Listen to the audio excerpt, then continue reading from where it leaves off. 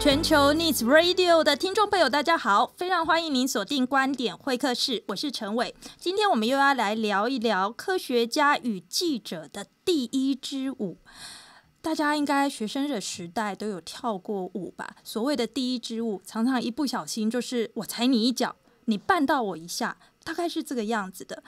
但是呢，我们今天的内容究竟要聊什么？我们要来聊一聊关于科学传播这一档事，沟通的正确性和沟通的效率性，到底专家、政府、记者还有普罗大众，也就是您和我，我们到底应该追求的是正确还是效率呢？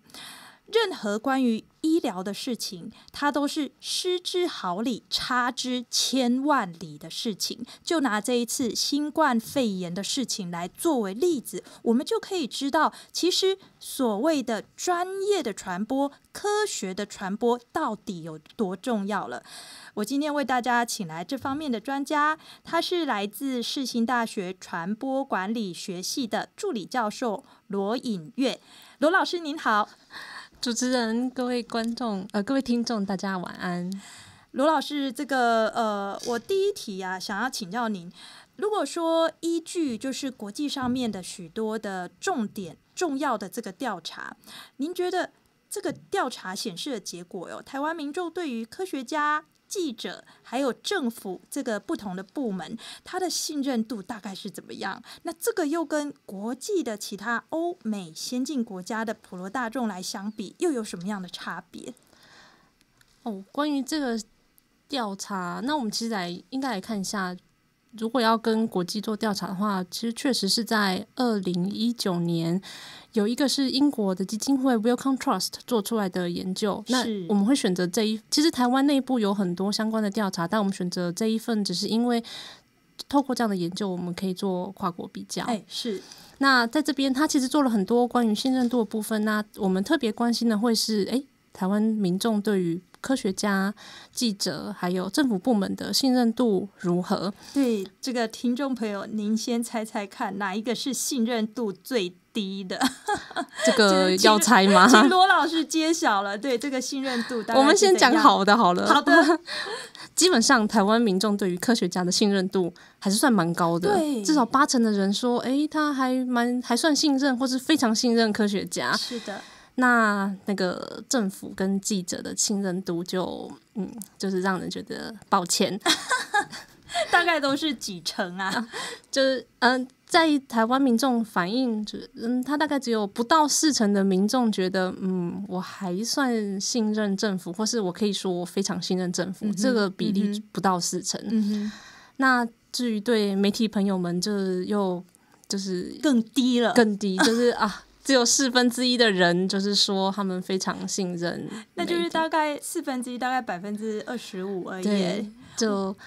那但我我来强调一下，就是这是二零一八年的状况。呃，二零一八年，所以二零一九年发布是这二零一九年发布，了解。所以二零一八年的调查，那当然说时空背景不太一样。嗯，那不过我们先来看一下，就是其实其他国家反映出来的结果下呢，好，就是。在台湾，我们先记得最高的是科学家，然后第二名是政府，是第三名是就是记者。但是实际是吊车尾，真的是只有四分之一的信任度而已。就是呃，我们可以就是这至少这个排序在其他国家也大致上是这样。真的？OK，了解。就是科学家都会是第一名，了解。那政府会可能会是第二名，那记者又会是可能是第三名。这个是。大部呃，我说的其他国家是像欧美，比如说是德国或者是美国，跟我们比较呃，德国跟我比较关系，制度比较呃比较相似的，或者说对我们影响比较大的呃几个国家。好，那嗯，只是台湾的民众对于这三者的信任度跟其他两个国家比起来，其实还是偏低。比如说，我们有八成的人觉得，哎，科学家还算蛮值得信任，是可是这个比例在德国跟美国是九成。哇，非常的高诶，德国跟美国了解。嗯，然后在政府的部分，就是他们至少也会有六成的人说，其实他们是信任政府。这个叫做及格哦。嗯，对，哎，就是对。那他们在媒体的嗯部分，其实也大概是这样，它也都有可能达到六成，是就是不会像台湾突然对，不会像台湾突然就是落差这么大。嗯哼哼哼，嗯所以就是这个部分是一个，就是在国外其实大部分是这样。是，的，所以这个听众朋友，对不起，我先打断罗老师的话，呃。观点会客室这一个节目之所以是由学界跟一个公益媒体，也就是我们家 Needs Radio，这个公益不是什么老王卖瓜、自卖自夸，是因为呃，我们之所以一直用非营利组织来做媒体这么烧钱的行业，就是因为我们知道钱的因素一旦加进来，对于一个媒体它的社会公信力的影响实在太大了。因为呃，这个也不用外外人来说啦，因为。我们作为故中之人，真的了解这个所谓的收视率啊，所谓的这个，如果大老板他的主要的市场不是在这片土地，而是在另外的市场的话，这个媒体的言论就很有可能非常的倾斜哦。好，罗老师，请继续。我想这个其实是呃，我们台湾的媒体的同业值得去警惕的一份调查数据。那也跟听众朋友分享，就是如果您呃对于我们像 n e e s Radio 这样子公益媒体的理念支持的话，请您可以让更多的人一起收听我们。是罗老师，但是在其实，在谈信任度部分，嗯。媒体朋友其实也不用这么难过，因为 其实我们在谈信任度的部分，当年这份问卷，虽然是当年这几年前这份问卷，嗯它其实是一个嗯。非常广广泛的问法，OK，就是它只是单纯的问信任度。那其实这个事情在今天这个场合里面，也许会不太一样，因为我们曾在学传播媒体，就会知道说，其实，在不同的事件之后询问的话，哦道理。其实是完全会。就是是不一样，也许是的，民众对于整体而言，我们的媒体不是很满意，可是，在询问他们对单一事件或是单一媒体的时候，他们是会展现他们的高信任度的。嗯，理解。所以，就是这个只是告诉我们一个普遍的状况。那在这边，我其实特别想要提的是，就是根据三月底 TVBS 提出的民调，嗯。虽然我们在二零一八年询问的时候，我们政府的知呃信任度其实只有三成，不到四成，嗯哼嗯，但是以目前的我们的防疫措施而言，其实台湾民众对于现今政府、现在执政府的满意度是超过六成，嗯那甚至对于我们的中央疫情指挥官的满意度是高达九成的。嗯，那这个直逼就是呃。欧美世界对于科学家、对于专家的信任度了，对，就我必须说，就信任度，呃，人家说民意流如流水，所以在对事件的发生的时候，怎么处理这件事情，其实是才会是真正影响到信任度的原因，而不是就是普遍的，我们就是当做一个基础的参考。但是我觉得在事件发生的时候去询问民众的信任度，这个是更具体的指标。有道理，有道理。呃，像呃，台湾在这个过去的这几个月，其实可以说是世界瞩目的焦点啦。因为呃，陈伟常常在讲哦，台湾的台湾人每十人就有一人身家性命跟大陆息息相关，这个是怎么算出来的？因为呃，在大陆的台湾人，不论是就学或者就业，大概有两百万人。那另外，台湾有三十多万人的这个陆籍配偶，所以您看这个加起来就是两百三十万人嘛，那就是两千三百万人里面的十分之一这样的情况。好，回头来讲，可是因为我们这一次的这个疫情的表现，到现在到现在为止。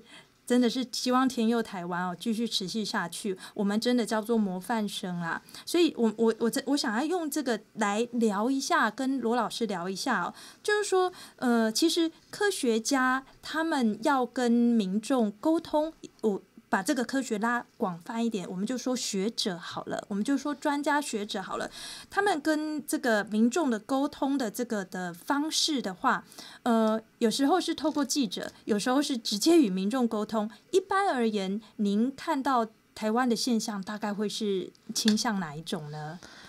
呃，这我自己做出来的结果，大部分的科学家其实比较愿意直接跟民众沟通。嗯嗯这件事情其实我们当时也，我们自己在做研究的时候也还蛮意外的，因为哦。这个是一个国际性的比较，就是台湾跟美国跟德国比较。是。那我们会觉得可能因为跟记者沟通其实是一个比较有效率，那透过大众媒体的帮忙，其实他们可以让他们的话传达到给更多的听众或者观众因为。有时候我们都说这是一个所谓平台的时代，因为拥有平台，你就拥有了关注权，这样子哦。是罗老师，所以我们也很意外，他们但是科学家比较想要直接跟大众沟通。对他，我觉得一方面是那个人际沟通，我们有说见面三分情，我们后来觉得有可能是因为这个原因会让他们比较愿意去，呃，他们比较喜欢或是乐于跟大众做直接的接触，嗯因为现场会是一个他们随时可以做调整。有道理，嗯但是也有可能是出于我们刚才上面讲到了，他们可呃那一个广泛性的这个英国的这一个调查，就是他们不一定那么相信媒体，这个是媒体要自己检讨的。以台湾这一次的疫情表现来说的话，呃，陈时中部长他担任指挥官，他的记者会哦每天都开。真的，天天都可以看到他亲自上线，大家都在问，因为他不用休假的、哦，其实是心里面其实是很疼惜这一群就是做呃疫调的，还有疫情整备的这一群官员。好，然后也公开的接受记者的询问呐、然后呃，所以我们可不可以理解，就是说沟通越频繁，那他的信任度的建构还有效率性就会越好。这个如果用理论来看的话，呃，我们可以直接画上等号嘛？在过去的许多的传播理论来说的话，在应应该说这件事情，其实我们也一直都在辩论说，到底是不是越频繁的沟通就会让民众越信任？因为这就是每个理论典范在转型的时候，现在的我们现在常常希望民众可以多参与，某种程度上也是是因为过去我们一直就是我们的传播理，我们的想法告诉我们说，哎。就是只要多灌输民众知识，他们就会喜欢我们。对对对，这这个基本的等号是这样子画上来的。对，然后后来发现，哎呦，这样子好像不行，就是因为后来还出现了一些，比如说英国狂牛症，然后基因改。呃基因改造，还有车诺比事件这些都事情都让民众对于科学的信赖度是向就是往下掉的。那也让大家开始想说，哎呦，我们过去这么努力的想要让民众了解我们，结果几个事件发生之后，信任感就变低，所以我们是不是应该改变策略？那也就是，所以策呃科学传播策略的改变，其实是希望让民众对我们有信任感。可是最近几年，我们也开始讨论，诶真的是这样吗？那我自己的呃，我自己的博士指导老师就是 Hans Peter Peters，他日前在他写了一篇呃学术文章，那其实它里面有认为，其实民众对于科学家的信任感，有的时候其实比较是结果论，嗯哼，嗯哼也就是说，频繁的沟通对于呃以现在危机处理而言，频频繁的沟通对于稳定民心很重要。是的，但是我们对于这个政府的信任度，不是因为它主要不是立基于他对我们频繁的沟通，而是因为我们看到他的成效很好。对对对，他的我们的信任感是建立他在他专业的展现上，而且对对我们生活有帮助，所以才会有就比较高的信任感。是，所以最近我们也开始讨论说，到底沟通真的是沟通是建立信任感的主要原因吗？还是是在这时候，其实我们应该拿出的是我们的专业，然后做出成效来。那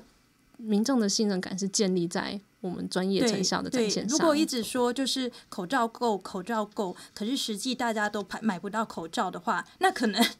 就是讲讲再多遍，讲到大家耳朵都流油了，可能也还是没有用哦。所以，但是这听起来就是呃，我我我觉得这个确实是挑战很多。呃，政治人物啊，就像是大概二零一三、二零一四年那时候，就是台湾最大事，大概就是这个太阳花学运。那太阳花学运的时候，当时这个呃，就是呃，在朝跟在野，在朝的人一直说啊，其实我已经沟通了一百遍、一万遍了，我已经不断的一讲再讲，然后到处去开公听会了。可是在野的人就一直主打说黑箱啊、黑箱啊，没有好好的沟通，所以这个有时候其实。传播跟民意这一件事，还真的是很玄妙的东西呢，对不对？呃，应该说，在这个社会里面，我嗯觉得开诚布公、诚实这件事嗯哼嗯情是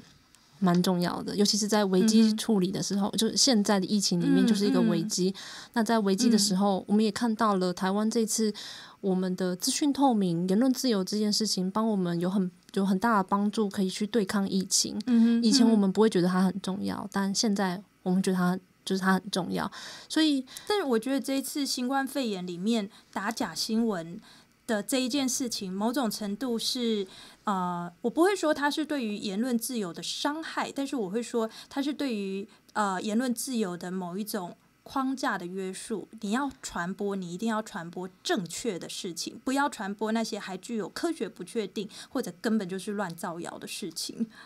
确实，因为是在，也就是说，当我们现在在讲就是频繁的沟通与信任度，其实频繁的沟通，它里面应该要沟通的也应该是正确的讯息。哦，是是里面需要就是提出来被就是强调的，对，是是是，呃，所以如果整体来说的话，您怎么样看？就是您在做这个科学传播这一件事情上，我想这个这一次新冠肺炎我们的抗疫的表现，我们。抵抗疫情跟疫情就是大作战的这样，好像在作战一样的这种这些表现，整体而言，您觉得应该可以根本就可以说视为是一种研究方向了吧？您觉得这一次整体的表现看起来怎么样？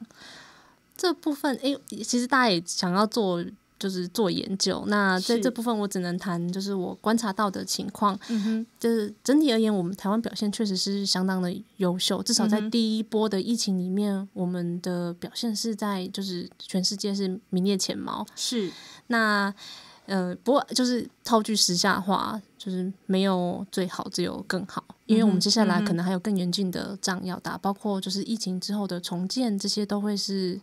未来一点没错，面对我陈伟一直在说，就是这个我们呃隔离或者是对抗疫情而来的人权账，还有经济账，这个账是账本的账哦，这个其实都之后要来算的。就这个台台湾到底会不会卷入，就是呃这个美国为首的这个欧美世界而来的可能。会有的经济大萧条，我们到底要如何自处？这个其实都是很重要的。是罗老师，那对，就是现在我们在第一波确实表现的优秀，那我们就希望这样可以继续延续下去。那在第一波里面，我观察到的情况是，事实上政府部门在第一时间的反应算是非常优秀。因为比如说我们在 LINE 首先在第一时间就推出了集管家，是这个就是非常重要的就是 APP，它首先。取取得了就是资讯正确权，或是资讯资讯的诠释权，就是说，当我们需要知道什么资讯的时候，请马上上机管家真的是这样，真的是这样。对，而且听众朋友，你那时候如果打一九二二，其实很容易打不通，所以你真的是会呃，我说的就是战线中，陈伟自己打过实测过。但是如果你直接赖里面看机管家，然后你问他问题，他其实还蛮快就会回复你的。所以我想。资讯的诠释权，政府那时候就很霸气的马上卡位进来，其实是很重要的。对，这个是，而且他选择的 Line 是台湾民众最常用的社群网站。对对对，反他不是选择可能像 WeChat，我们台湾民众普遍没有像大陆人那么常用。是对，然后再来是我们的。政府团队也是非常非常的优秀，还有许多的学者。那在这里边，他们都非常的努力站出来，然后很诚实的跟官跟民众说，他们什么是他们知道，什么是他们不知道的。那他们也尝试对未来做一些预测，比如说我们那个时候就是该不该戴口罩，该不该洗手。那我记得那个时候特别被一开始。特别被强调就是关于洗手这件事情。是的，是的，对，而且那个，我觉得我我讲到勇敢这件事，我觉得真的很重要，因为呃，当时原本就是呃，大家都疯抢口罩，结果就在大概隔了就是呃过完华人年之后的大概一两个月，就开始。就是政府就开始说出另一种说法，就是说不要再抢口罩了，把口罩留给需要的人。所以什么叫需要人？就是你如果是走在户外马路上，你其实不需要。需要的人是进去医院探病，或者是呃可能一些高高危险族群，可能这样计程车驾驶这一些。其实就是当时有。这个话现在听起来，因为现在开始出现了台湾出现相当多起无症状的确诊者，他连咳嗽都没有咳嗽，诶，更不要讲发烧了，根本就没有，他还可以就是拍拍照这样子。但是在那个时空之下，其实呃做出这样子说明的这些专家学者，我记得有其中一位是张善纯副校长，台大的副校长，也是呃医学界里面的大佬。其实是我是觉得很勇敢的，嗯，所以这一次确实他们从那个时候到现在，就现在开始鼓励大家，比如说坐公车戴去呃，对，一定要戴口罩，一定要戴，所有的公共运输都一定要戴，表示我们的整个防疫措施它其实是在变动式不断的对。变动式修正这个很重要，是，所以这个是这是这是非常好的部分。那是的，除了就是比如说在资讯在政府的部分话，我另外一个觉得其实非常惊人的是，台湾的民众也是让我觉得非常惊人的，他们展现相当惊人能量。比如说，我记得最早开始要口罩地图，可以去哪家药局买，就我们现在已经很习惯就是网络上买，但我记得在实名制登记的前几天，其实是台湾民是一位。工程师自己主动推出来，这是一个台湾公民社会力量的展现。那我觉得这件事情对我来说是非常惊人的。那还有是，就是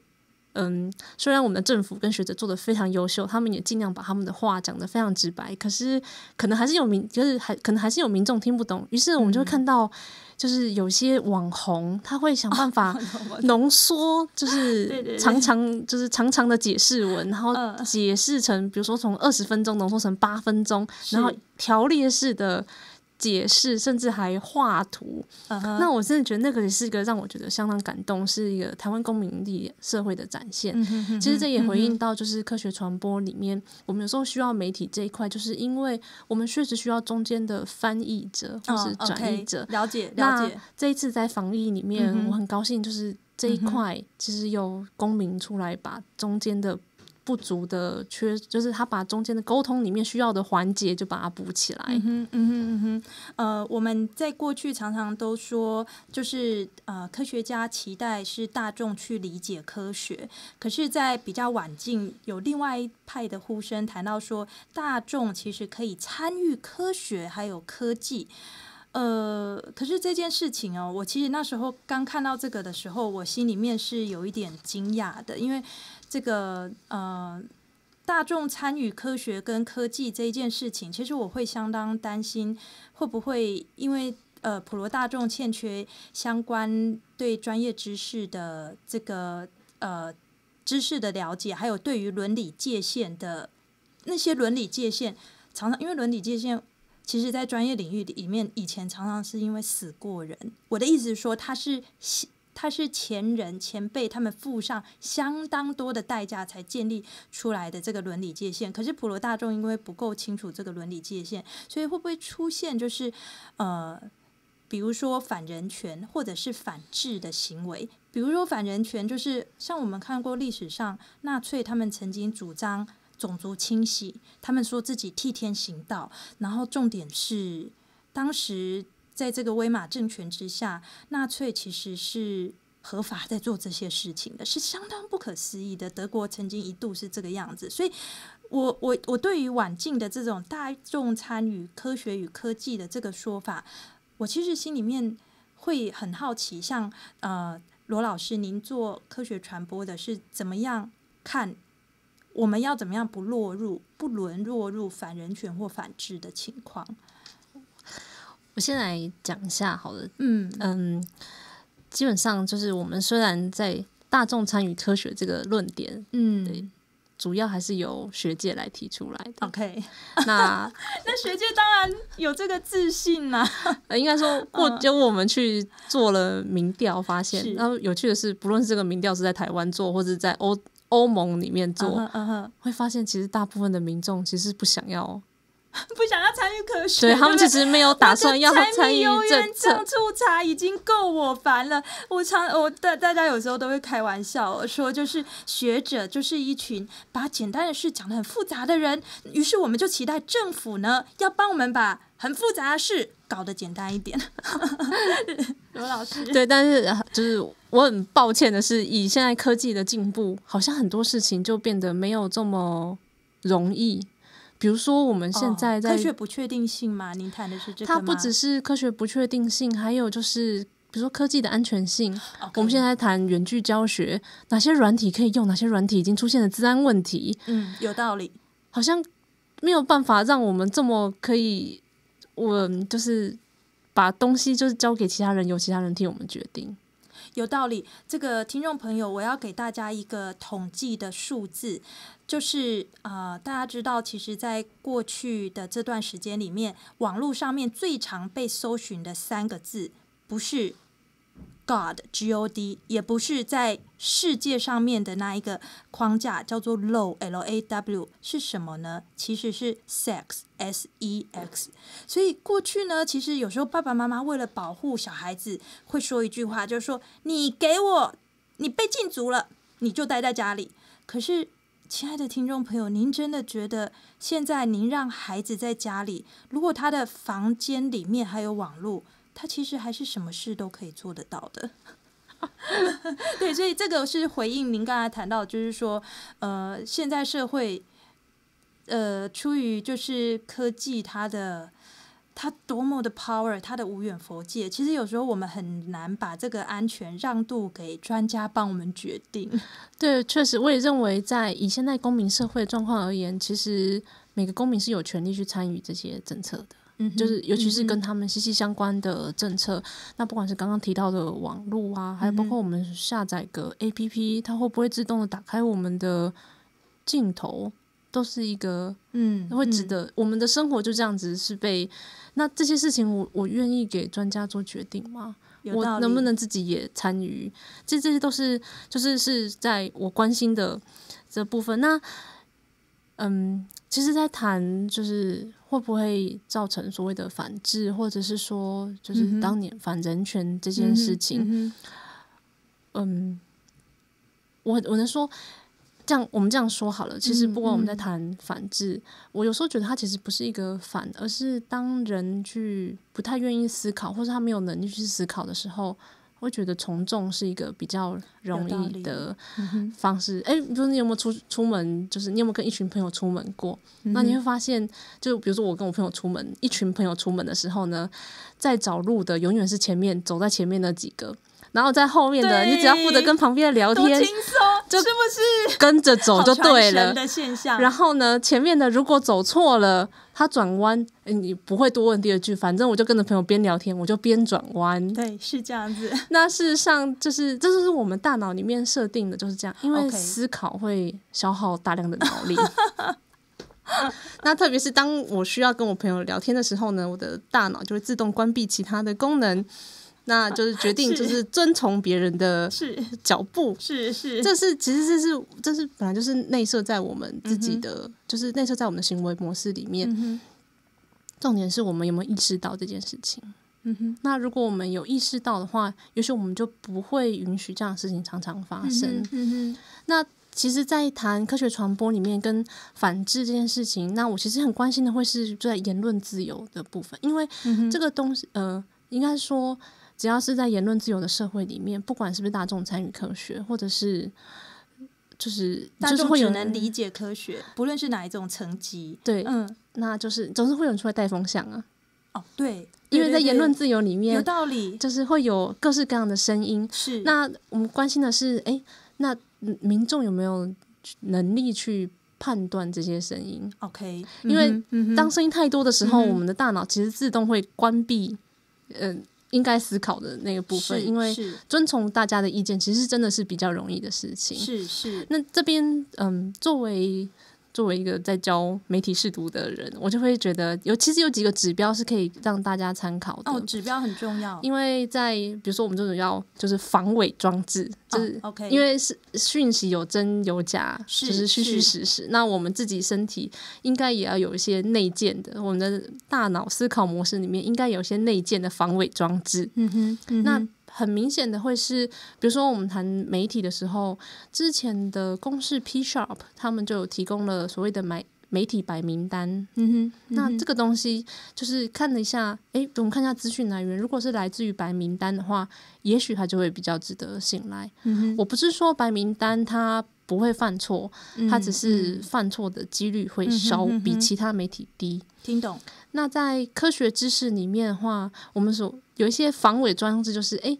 我们看一下到底是哪位学者做的研究，哪一位学者哪一个机构，那甚至看一下它里面的论述是不是符合逻辑的。这一点在目前防疫时期又是特别的重要了。嗯哼，嗯哼，嗯哼，这个真的很重要。所以整体来说，呃，您认为台湾的民众应该参与政府的科学还有科技政策吗？还是其实就？把这个事情留给专家就好了，就是大众只要哦 follow，就是您刚才所说的从众。呃，如果是这么放心的话，就是我相信科学家也应该还蛮乐意的吧。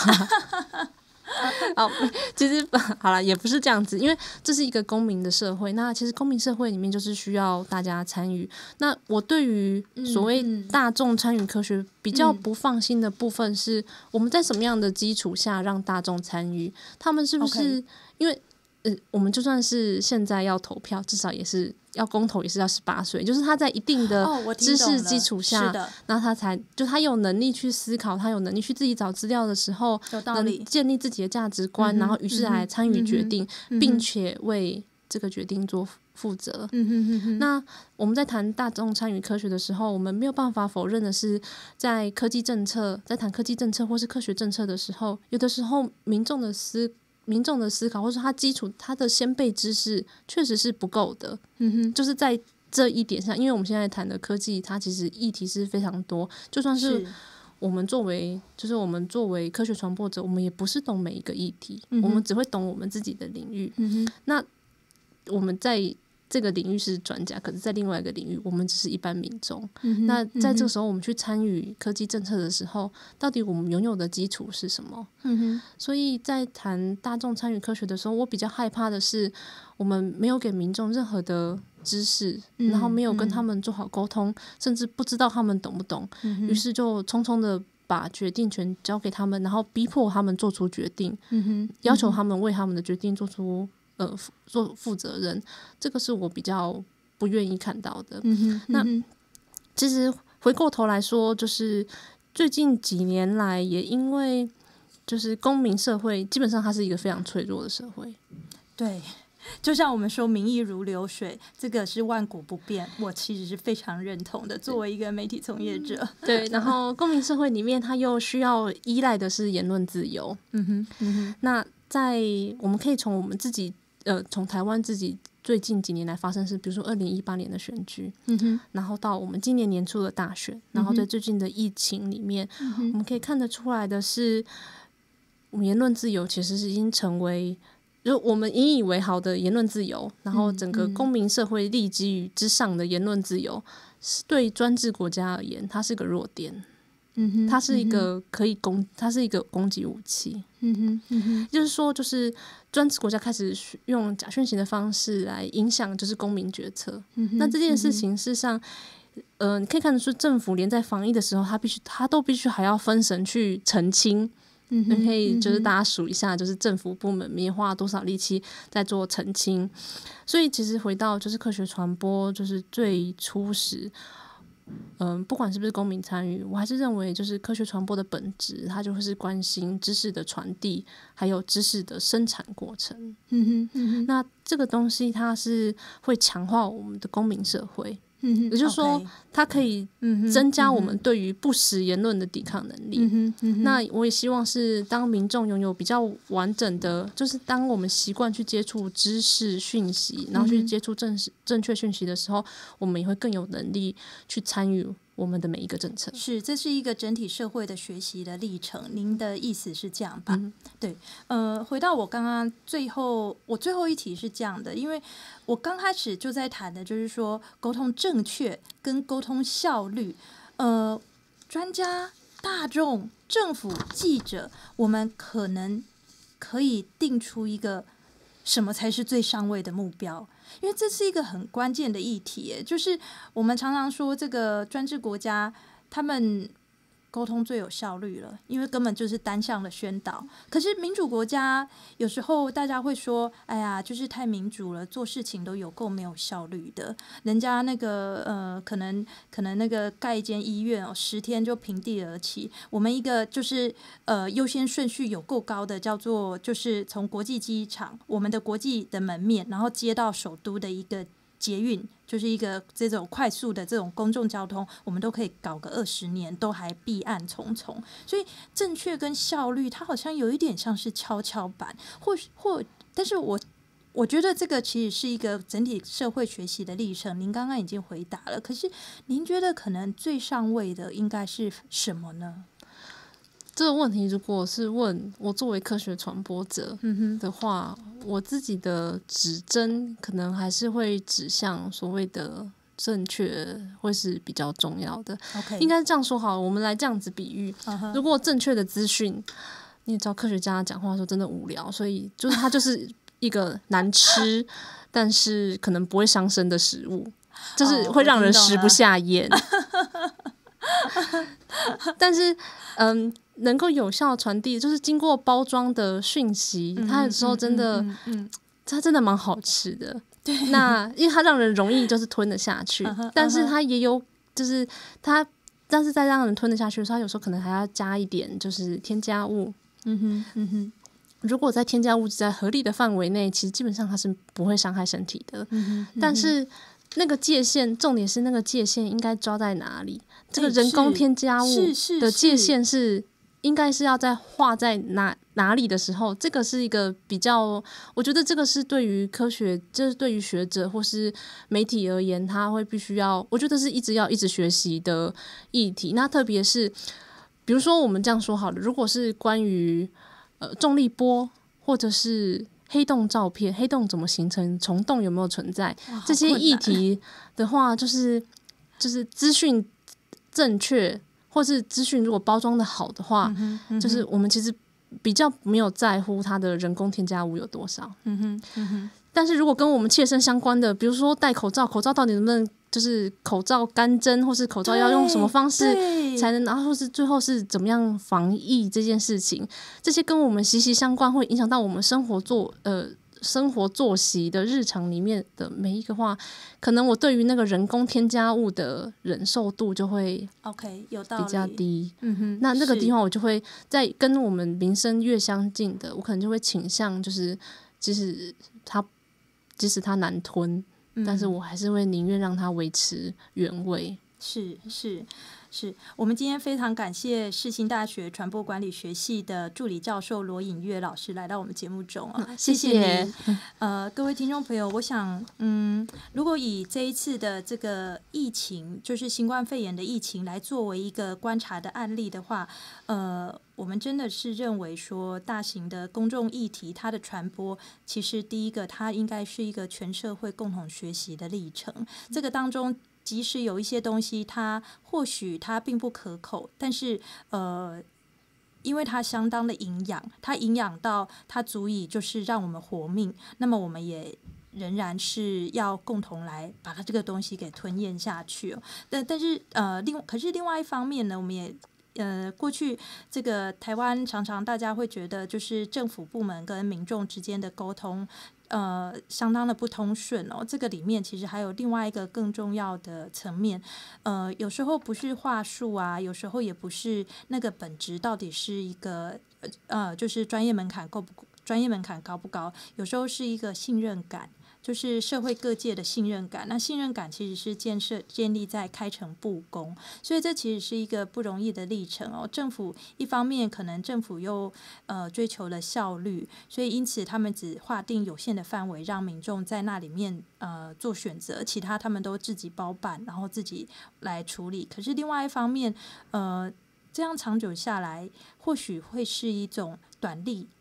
可是长空的情况，因为信任感实在很不容易被建立。这个是今天我们在跟大家分享这个科学家与记者的第一支舞。